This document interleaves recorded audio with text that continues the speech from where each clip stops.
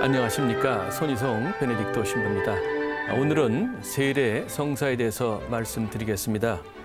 세례 성사는 한 사람이 예수 그리스도 안에서 모든 죄의 사함을 받고 하느님의 자녀로 새롭게 태어나고 또 교회 공동체의 일원이 되게 하는 그런 성사입니다. 이 성사를 받음으로써 다른 성사를 다른 여섯 가지 성사를 받을 수 있는 자격이 생기게 되는 거죠. 그래서 세례 성사는 일곱 성사를 헤아릴 때 제일 앞자리에 이렇게 나와 있습니다. 어떤 단체에 가입하기 위해서는 준비 기간이 필요합니다. 마찬가지로 입교 성사인 세례 성사를 받기 위해서는 일정 기간 세례 교육이 필요하죠. 고대 교회 그러니까 처음에는 300년간이죠. 300년간 그 동안에는 이 교육 기간이 무려 3년이 걸렸습니다. 313년에 이제 그리스도교가 박해를 벗어나게 되죠. 그리스도교를 그때 이제 황제가 공인해줘요. 인정해줌으로 말미암아서 더 이상 박해를 받지 않아도 되는데 그 전까지는 어땠냐면 신자가 된다는 것은 박해와 순교를 각오하는 것이었습니다. 그래서 아무나 세례를 주지 않고 철저히 교육을 시킨 다음에 순교까지 박해까지 각오한 사람에게만 세례를 주었습니다. 그래서 세례 준비하는 기간이 길어질 수밖에 없었는데 지금은 많이 줄어서 보통 6개월 정도 이렇게 됐습니다. 그래서 6개월이 너무 길다고 생각하시는 분들은 과거에는 3년이었다는 거 기억하신다면 조금 그렇게 이렇게 인내가 많이 생길 겁니다. 세례 성사는 통상적으로 성직자가 주죠. 성직자는 주교님, 신부님, 부제님을 얘기하는데 그러나 비상시에는 예를 든다면 전쟁이나 박해로 인해서 성직자가 없는 경우 또는 성직자를 불러올 동안에 세례받을 사람이 죽을 위험이 있는 경우에는 평신도도 세례를 줄 수가 있습니다. 이런 경우를 우리가 대세라고 얘기하죠. 정확한 용어는 비상세례입니다. 비상시에 세례를 준다. 그래서 비상세례라고 얘기하고 비상세례를 받은 사람이 다행히 다시 살아나게 되면 이제 보충 예식이 이제 보충 예식을 이렇게 해줘서 그래서 이제 완전한 세례 세례가 어, 세례가 어, 되는 거죠. 세례 성사를 받게 되면 은혜 또 효과를 입게 되는데 여기에 대해서는 사도행전 2장 38절에 잘 요약되어 있습니다. 먼저 사도행전 2장 38절의 내용을 봅니다. 회개하십시오. 그리고 저마다 예수 그리스도의 이름으로 세례를 받아 여러분의 죄를 용서받으십시오. 그러면 성령을 선물로 받을 것입니다. 이 말은 베드로 사도가 한 말입니다. 사도 베드로가 다른 제자들과 함께 성령을 받죠. 그 다음에 성령을 받을 때 무슨 큰 소리가 났다고 그랬어요. 사람들이 쫙 몰려오는데 사도 베드로가 그 사람들을 대상으로 어, 나자렛 예수님이 십자가에 못 박히고 부활하신 그 분이 우리 조상들이, 우리 민족들이, 이스라엘 민족들이 기다려봤던 바로 메시아다, 구세주다 이렇게 에, 설교를 하는데 그 설교를 듣고 백성들이 마음에 찔려서 그럼 우리가 어떻게 했으면 좋겠습니까? 그 답변으로 바로 이 말을 해준 겁니다. 거기서 회개하고 세례를 받아라 이런 대답을 해줬는데 이 대답을 통해서 아, 세례의 은혜가 무언가 하는 것이 그런 것을 우리가 하나하나 짚어볼 수가 있다는 것이죠. 먼저 세례 은혜, 세례 은총은 뭐냐? 하느님의 자녀가 된다는 겁니다. 베드로 사도는 예수 그리스도의 이름으로 세례를 받으라고 그러죠. 이건 뭐냐면 세례를 통해서 우리가 예수 그리스도와 하나가 된다는 거예요. 하느님의 아들이신 예수 그리스도와 하나가 되면 그러면 예수님이 하느님을 아빠, 아버지로 불렀던 것처럼 우리 역시 하느님을 아빠, 아버지로 부를 수 있게 되죠. 세례 성사로서 우리는 하느님의 자녀, 하느님의 아들, 딸이 되고 그러면 하느님이 우리 아버지가 되셔서 우리에게 정말로 풍성한 아주 큰 사랑을 베풀어 주십니다. 우리가 잘 아는 루카복음 15장 11절 이하의 되찾은 아들의 비유 거기에 보면 하느님은 설사 우리가 당신을 등지고 죄에 빠져들지 않더라도 우리를 저버리지 않고 우리가 당신께로 돌아오시기를 기다리는 바로 그 자비로운 아버지와 같은 그런 분이라는 걸 우리가 알 수가 있습니다. 하느님은 내 가족, 친척, 부모라도 내게 등을 돌린다고 해도 나를 버리시지 않는 그런 분입니다. 그래서 일찍이 구약 성서에서 이사야 예언자는 그런 하느님에 대해서 이렇게 얘기를 했어요. 이사에서 49장 15절의 말씀인데 여인이 제 젖먹이를 잊을 수 있느냐? 제 몸에서 난 아기를 가엾이 여기지 않을 수 있느냐? 설령 여인들은 잊는다 하더라도 나는 너를 잊지 않는다. 인간의 사랑 중에 가장 끈질긴 것이 어머니의 자식에 대한 사랑입니다. 근데 그 사랑이 끊긴다고 해도 하느님은 우리를 결코 버리시지 않는다는 거. 설사 인간적으로 가장 끈질긴 사랑이 끊긴다 해도 하느님은 우리를 버리시지 않는 그런 큰 사랑을 가지신 그런 분입니다. 세례 성사를 받게 되면 바로 이런 하느님, 정말 좋은 어머니와 같은 정말 자비로운 아버지와 같은 그런 하느님이 우리의 아버지가 되시고 우리는 그분의 사랑을 받는 자녀가 된다는 겁니다. 이런 하느님의 큰 사랑은 우리 영혼 육신을 지탱해주고 성장케 해줍니다. 제가 몇 년 전에 수도권에 있는 어느 보육원에서 수녀님들이 운영하시는 보육원에서 안식년을 지낸 적이 있었습니다. 거기에는 젖먹이부터 유치원생까지 대략 100명 내외의 아이들이 있었는데 수녀님과 봉사자들의 따뜻한 보살핌을 받으면서 잘 자라고 있었습니다. 음식과 옷도 제가 예상했던, 예상했던 것보다도 아주 좋았습니다. 아침마다 이제 그 주변에 봉사자 할머니들이 오시는데 그분들이 하신 일은 아이들, 어린아이들 밥 먹여주는 거예요. 왜 애들 한 살 전후의 아이들은 밥 잘 안 먹잖아요. 그러니까 걔들 옆에 앉아서 인내롭게 이제 밥을 먹여주시는데 그 할머니들이 그런 말씀을 하셔요. 이 애들은 우리 집 손자, 손녀보다 잘 먹고 잘 입는 것 같다. 그런데 아이들이 이상할 정도로 자주 병치를 했어요. 원장 수녀님께 왜 그러냐고 제가 물었습니다. 그랬더니 원장 스님이 그런 말씀해 주셔요. 어린 아이들에게는 부모 사랑이 무엇보다도 중요한데 그 사랑을 제대로 받지 못하니까 애들이 자주 아파요. 그게 안쓰러워서 더 잘 먹이고 더 잘 입히려고 노력합니다만은 그런다고 부족한 사랑이 다 채워질 수가 있을까요? 이런 말씀을 하시더라고요. 인간은 인간은 다른 사람으로부터 사랑과 인정, 관심 그런 것을 받아야 몸과 마음 모두 건강하게 살 수 있습니다. 보통은 우리는 그런 사랑을 부모나 가족들로 받죠. 근데 유감스럽게도 인간의 사랑은 조건적인 경우가 많습니다. 네가 내 말 잘 들으면 잘해주지만 그렇지 않으면 아무것도 없다. 그런 얘기를 하죠. 그런 조건적인 사랑이라도 그렇게 지속적으로 주질 못하고 주었다 말았다 그런 경우가 굉장히 많다는 것이죠. 근데 예수님이 보여주신 하느님의 사랑은 인간의 사랑과는 사뭇 다릅니다. 예수님은 죄 많은 인간을 위해서 당신 자신을 내주셨습니다. 심지어는 당신을 십자가에 못 박는 사람을 위해서도 아버지께 성부께 그 사람들 용서해달라고 기도하셨던 그런 분입니다. 또 당신을 세 번이나 배반한 베드로, 수제자인 베드로를 다시 불러서 목자의 직무를 맡기셨다는 것이죠. 이렇게 예수님이 주신 사랑, 그분이 보여주신 하느님 사랑은 아주 헌신적이고 무조건적이고 변하지 않습니다. 우리 인간의 사랑은 좀 이기적인 경우가 많고 조건적인 경우가 많고 그 다음에 이거 지속적이지 못한 경우가 많죠. 그와는 반대로 예수님이 보여주신 하나님의 사랑은 아주 헌신적이고 무조건적이고 또 변하지, 변하지 않습니다. 성부, 성자, 성령, 삼위일체 하나님의 이름으로 세례받은 사람이라면 하나님은 우리가 비록 부족하고 허물이 많더라도 결코 사랑의 눈길을 거두시지 않는다는 것. 그것을 마음속에 깊이 새겨둬야 될 겁니다. 그렇게 되면 어떻게 돼요? 우리가 건강한 자존감을 얻을 수가 있어요. 건강한 자존감이 형성되면 내 자신이 못났다 자책할 필요도 없고 또 낙담에 빠질 그런 이유도 없습니다. 또 남들이 나를 못생겼다, 능력이 없다, 돈이 없다, 자식이 없다, 또 이혼했다, 직업이 없다, 병들었다, 늙었다고 손가락질하더라도 자책하거나 낙담에 빠지지 않을 수 있다는 것이죠. 왜냐하면 하느님은 부족하고 허물 많은 우리 자신을 결코 내버리시지 않는 분이라는 거예요. 세상 사람들은 뭔가 이득이 될 때, 뭔가 생산력이 있을 때, 뭔가 보기 좋을 때, 그때만 사람들을 사랑하는 경향이 있지만 하느님은 그렇지 않아도 우리를 버리시지 않고 사랑의 눈길을 거두시지 않는 분이라는 거예요. 그거를 보장하는 것이 바로 세례성사고 세례성사를 통해서 우리가 하느님의 자녀가 되면 그런 사랑을 꾸준히 받을 수 있다는 것이죠. 그런 사랑을 우리가 마음속에 기억한다면 정말 건전한 자존감을 우리가 마음속에 간직할 수 있습니다. 두 번째로 세례성사의 은혜는 죄를 용서받는 거예요. 베드로 사도는 예수 그리스도의 이름으로 세례를 받고 죄를 용서받으라 그렇게 권유를 했죠. 세례를 통해 우리의 모든 죄가 사함을 받습니다.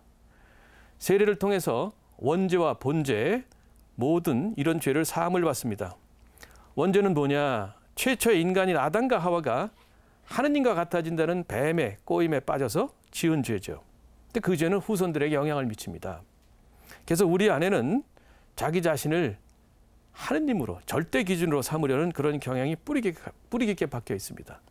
근데 우리가 그런 경향, 그런 흐름에 흐름에 따라가서 잘못하게 되면 바로 우리가 우리 스스로가 죄를 짓게 되는 거죠. 그게 바로 본죄입니다. 이렇게 원죄든 본죄든 죄의 본질은 하느님을 떠나서 자기 자신에게 집착하는 그런 이기주의입니다.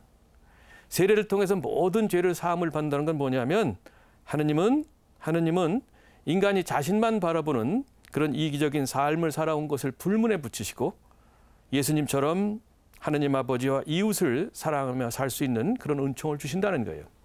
우리가 세례 받기 전에 아무로 나 중심적으로 살았어도 하느님께서는 불문에 붙이신다는 거예요. 그리고 앞으로 하느님을 위하고 이웃을 사랑할 수 있는 그런 은혜를 주시고 그런 방향으로 이끌어 주신다는 거죠. 우리는 세례 성사를 통해서 그리스도와 하나 됨으로써 죄에 물든 묵은 인간을 버리고 하느님과 이웃을 사랑하는 새로운 삶으로 거듭나게 됩니다.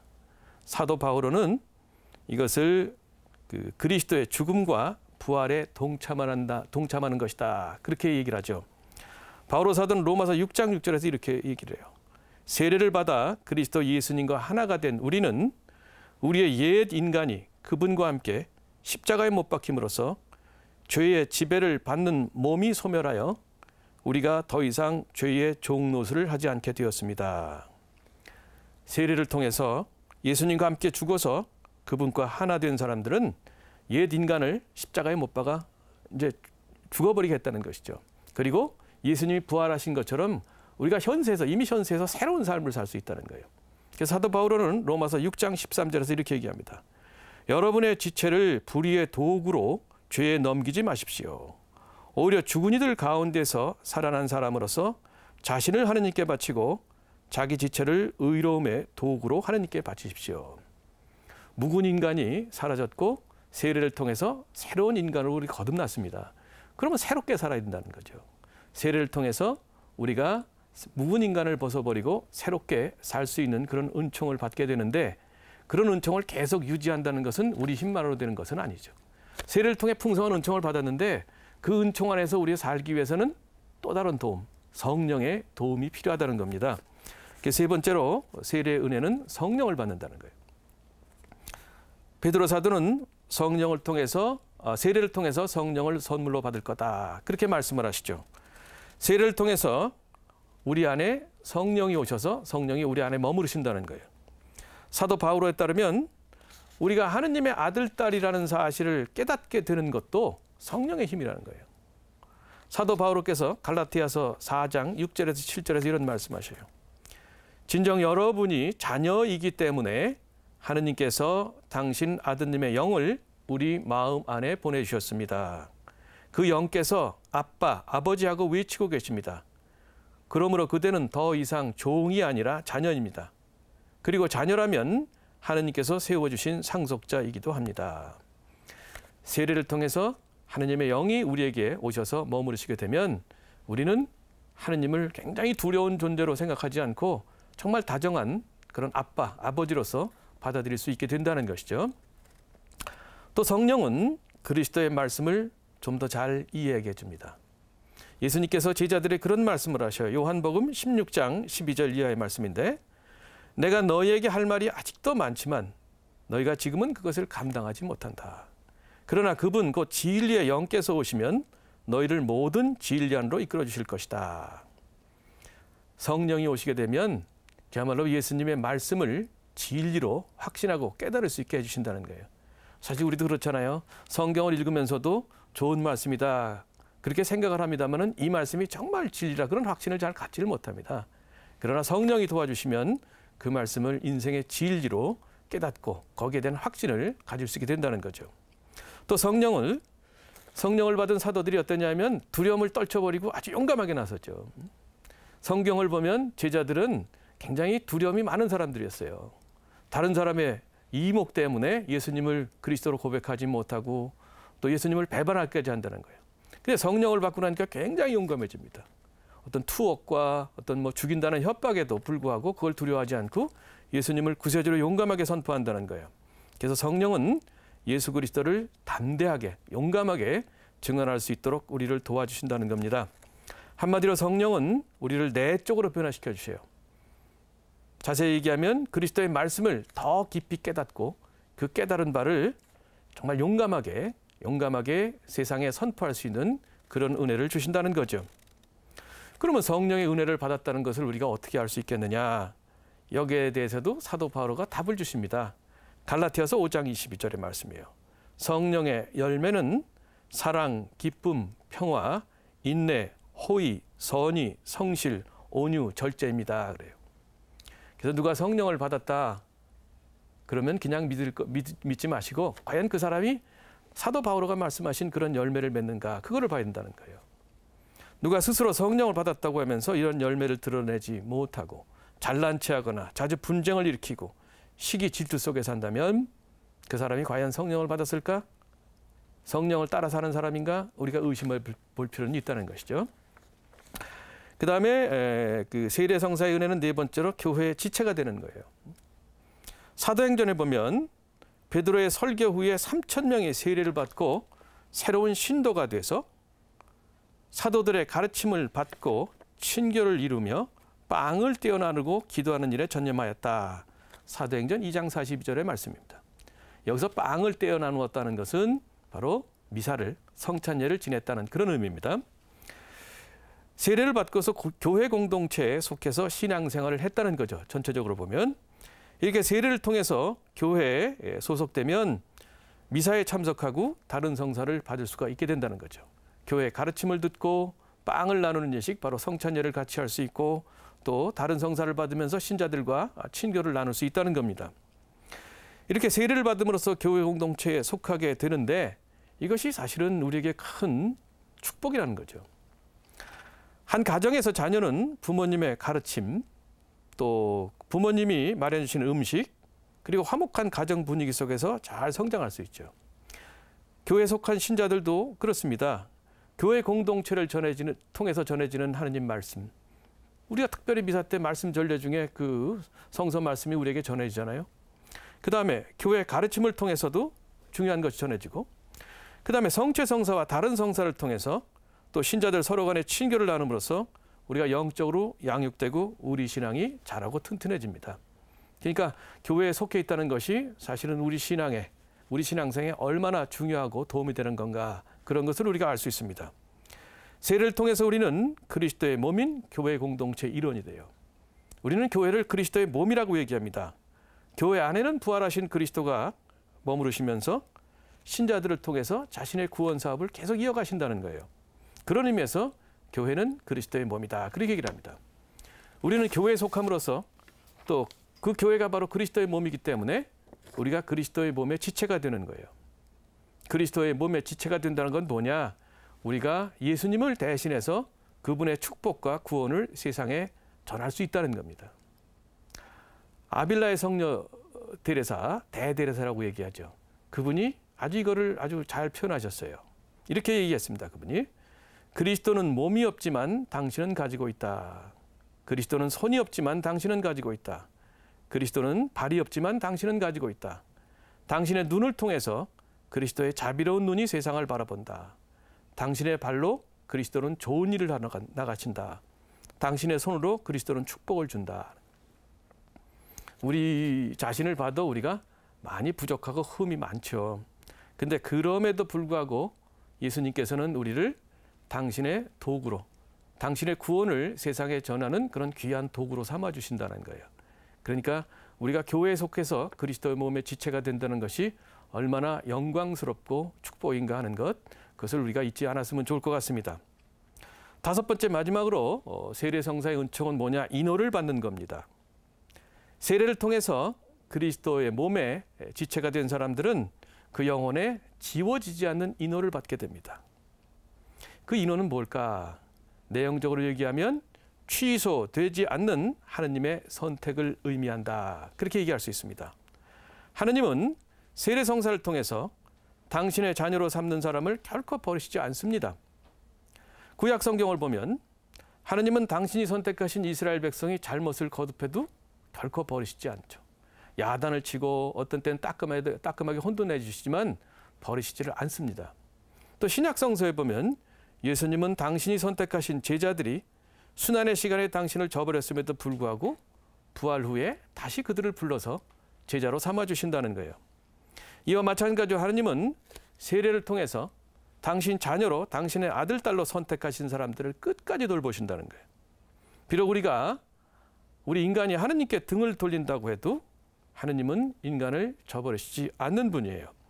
우리가 하느님을 등지고 우리가 하느님을 마주보며 살아야 되는데 하느님을 등지고 갈 때 하느님께서는 사랑의 눈길을 거두시지 않고 정말 안타까운 마음으로 우리를 등지고 가는 그 모습을 쳐다보신다는 거예요. 그래서 지워지지 않는 인노란 세례를 통한 하느님의 선택이 결코 번복되거나 취소되지 않고 영원히 지속된다는 그런 의미를 담고 있습니다. 그래서 인호가 각인되는 세 가지 성사, 세례, 견진, 성품 성사는 반복해서 받을 수 없다는 거예요. 우리가 살펴봤듯이 세례의 은혜는 아주 풍요로운 거죠. 세례 받은 사람은 하느님의 아들이신 예수 그리스도와 하나가 돼서 하느님의 자녀로 새롭게 태어납니다. 또 하느님의 자녀로 새롭게 태어나기 위해서 우리 모든 죄 사함을 받게 되는 거죠. 원죄와 본죄 그 모든 그 사함을 받습니다. 또 성령 하느님의 영인 그것도 예수님의 영인 성령이 성령이 우리 안에 오셔서 바로 우리 자신이 부족한 우리 자신이 성령의 성전이 된다는 거예요. 그리고 또 교회에 속함으로써 그리스도의 몸의 지체가 됩니다. 또 하느님의 자녀로 선택된 것이 결코 취소되지 않는 그런 징표로서 징표로서 영혼에 지워지지 않는 인호가 또 각인된다는 것이죠. 이런 세례성사의 풍요로운 은혜를 우리가 자주 기억하면서 되새기면서 살았으면 좋겠습니다. 옛날 사람들은 그 배 밑바닥에 밑짐이라고 부르는 일정 무게의 짐을 항상 실어뒀다고 합니다. 밑짐이 든든한 배는 풍랑이 불더라도 바로 무게 중심을 잡아서 큰 흔들림 없이 앞으로 나갈 수가 있죠. 세례성사의 은총은 배의 밑짐과 같은 겁니다. 하느님이 부족한 나를 사랑의 눈길로 바라보고 계신다는 그런 사실, 비록 내가 허물이 많고 또 죄를 짓더라도 그 눈길을 결코 거두시지 않는다는 사실을 우리가 정말 잊지 말고 마음속에 간직하고 살아간다면 인생 여정에서 그야말로 우리가 맞이하는 거센 파도 굉장히 많죠. 그런 것을 극복하면서 하느님 나라를 향해서 우리가 꿋꿋이 나아갈 수가 있을 겁니다. 마르틴 루터 본래 아우구스티노의 수사 신부였습니다. 열심히 살라고 하던 사람이었어요, 사실은. 그런데 그 당시 교회의 어떤 안 좋은 모습을 보면서 어떤 개혁을 주장했고 그것이 어떻게 잘못 나가는 바람에 어떤 교회로 나갔고 결국 오늘날에 개신교가 나오게 된 건데 개인적으로는 굉장히 열심한 면모가 있었어요. 루터는 세례성사의 은혜가 무언지를 확실히 알고 있던 사람이었어요. 자기 책상에다 일하는 책상에다 나는 세례 받았다는 말을 라틴 말로 아주 각인을 해놨다고 그래요. 그 당시 라틴 말을 많이 쓰던 시대니까 이제 라틴 말로 각인을 했겠죠. 그래서 자기가 일이 잘 안 풀려서 마음이 우울할 때 굉장히 이렇게 그야말로 depress 되는 거죠. 완전 쭉 가라앉을 때 정말 뭔가 의욕이 없을 때마다 나는 세례 받았다는 자기가 새겨놓은 그 말을 거의 중얼거리면서 중얼중얼 계속 반복해서 이렇게 중얼거리면서 다시 힘을 얻었다는 그런 기록이 있습니다. 그건 사실은 루터가 세례성사를 올바로 알았기 때문에 세례성사를 통해서 하느님의 자녀가 됐고 하느님의 자녀가 된 사람은 하느님의 사랑을 결코 않는다는 거 그걸 알았기 때문에 루터는 그렇게 할 수 있었다는 것이죠. 그건 사실 우리가 아, 본받아야 어떤 그런 것이 아니냐 그런 생각까지도 할 수 있습니다. 여러분들이 미사 성당 들어오시면서 그 성수를 찍고 성호를 그으시죠. 그건 바로 세례성사를 상징하는 겁니다. 세례성사를 기억토록 하는 거예요. 그래서 앞으로는 그 성수를 찍고 성호를 그을 때 아니면 성수를 찍자도 성호를 그을 때마다 나는 세례 받은 사람이라는 것을 마음속에 꼭 간직하시고 또 그것과 함께 여러분 마음속에 든든한 믿짐 그걸 간직하셔서 건전한 자존감을 갖고 사시기를 바라겠습니다. 고맙습니다.